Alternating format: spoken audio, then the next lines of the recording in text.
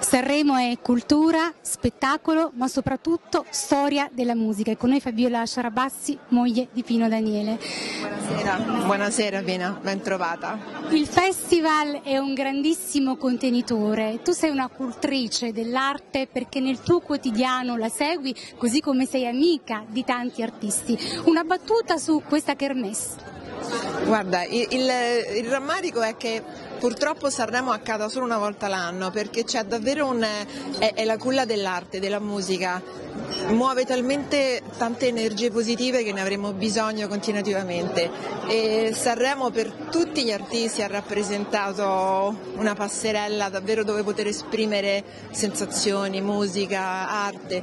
E devo dire mai come quest'anno con un plauso al direttore artistico ad Amadeus c'è uno spazio incredibile proprio alla generazione Z 2.0, la maggior parte del, degli artisti, adesso non ricordo in che percentuale, sono nati dopo il 97.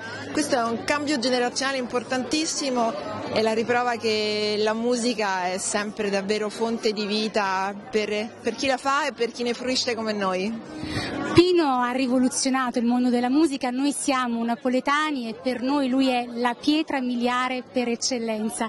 Se oggi salisse sul palco, cosa suonerebbe a tuo avviso? Di cosa tratterebbe? Cosa canterebbe del suo repertorio?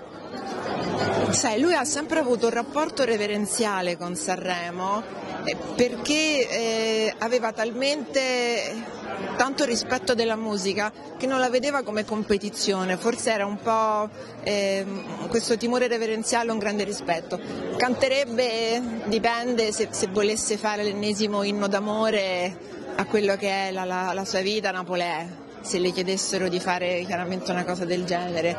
Altrimenti, cosa che è già accaduta, sicuramente si avvicinerebbe a, a dei generi musicali con cui lui si è sempre raffrontato, delle contaminazioni perché credeva molto in quello che erano la fusion dei, dei, dei vari, delle varie espressioni musicali, quindi sicuramente farebbe una cosa del genere. 28 artisti, la tua canzone del cuore? Eh, posso, posso spoilerare, la mia canzone del cuore perché è un pezzo di cuore. E, allora, per, non, par, non, parliamo degli affetti, devo dire che c'è un, una qualità artistica incredibile. Mi è piaciuta molto Madame come cose, mi è piaciuto molto Leo Gasman, Elodie, pezzi di cuore sono Giorgia e Marco Mengoni, quindi e, e, e forse è, devo dire, un'opinione comune, però non diciamo nulla, in bocca al lupo. Grazie. Grazie a te, grazie. grazie.